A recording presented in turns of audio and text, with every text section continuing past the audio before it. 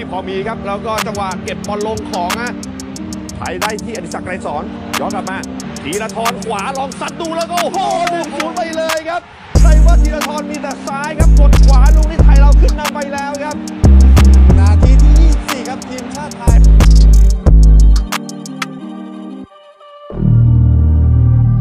ครับจังหวะนี้แตะแล้วก็หลุดไหมธีรศินได้หมุนกลับมา